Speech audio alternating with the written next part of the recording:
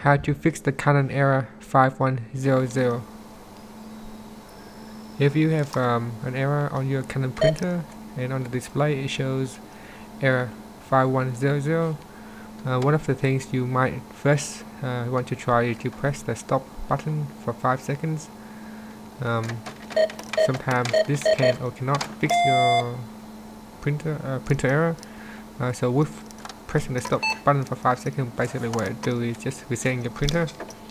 Now most of the time um, the issue is uh, you have an object inside your printer like a piece of paper or a piece of dirt or any debris that's staying inside the, the printer and it, it cause the the printer head to get stuck or not uh, work properly.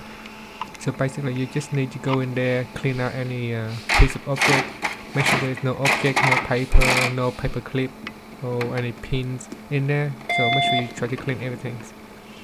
Um, once you do that um, just um, remove everything and then turn off the printer by pressing on the power, the power button.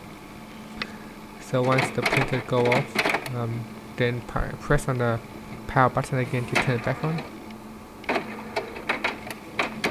Now you should see um, the error goes away uh, another solution that I'm going to uh, show you is that um, sometimes when the dirt gets stuck in the timing strip um, or the ink that gets stuck onto the timing strip it can cause a problem with the printer head from uh, running across the printer. So make sure you clear you clean this um, clear transparent timing strip. Um, it's sits just behind or it sits just in front of the timing belt. So I'm just showing you right there. It's a bit hard to show you what it is because it's transparent but basically there's a white plastic plastic strip right there. So make sure you have that clean. And uh, below that is also a black um, metal strip running across there. Make sure you also have that one clean. Um, use a soft piece of tissue to clean it. And make sure there is um, no dirt or any ink stick to it. So once you have that clean your printer head should work uh, properly and the error should goes away